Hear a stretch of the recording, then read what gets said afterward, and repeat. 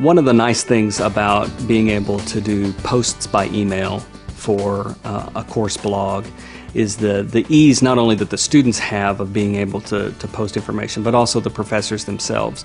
So for our cornerstone class for freshmen, we had a thousand freshmen taking this class. They all had a main blog portal that was for, for all of them. And then each class underneath that had their own. So there was the top scale and the bottom or the middle scale.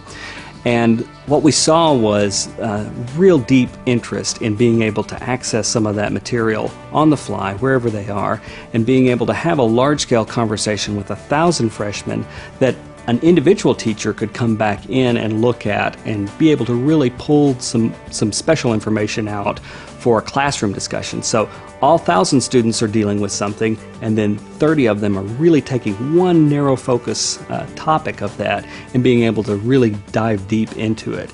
Still on a blog space, but also in the in the space of the classroom. So what was only a, a virtual space becomes both a virtual and an, an interactive space in the classroom.